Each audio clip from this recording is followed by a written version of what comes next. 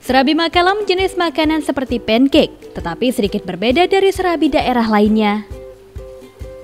Serabi Makalam berbentuk oval dengan campuran kuah saat disantapnya. Serabi Makalam ini terasa gurih dan renyah di lidah dan cocok untuk menu buka puasa Anda. Serabi Makalam terbuat dari tepung beras yang dicampur dengan santan kelapa dan gula sehingga terasa manis dan gurih. Rika, pedagang serabi yang mangkal di Jembatan Makalam, telah lebih kurang lima tahun berjualan serabi ini. Penjualannya terus mengalami peningkatan setiap bulan suci Ramadan dari tahun ke tahunnya. Omset yang didapat dalam satu hari naik dua kali lipat selama Ramadan. Diakui Rika, pembeli serabi ini tidak hanya datang dari dalam kota, namun juga banyak dari warga luar kota, seperti dari Tanjab Timur maupun dari Kuala Tungkal.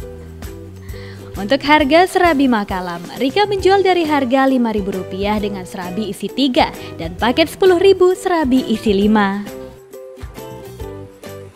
Ini memang dua kali lipat lah bang ambilnya. Dua kali lipat ya? Iya. Itu paketnya gimana? Serabi sama kuah berapa tuh harganya?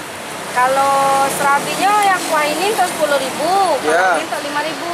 Oh, serabinya sendiri?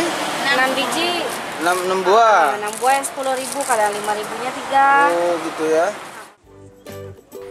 Datut Rakash, Jambi TV.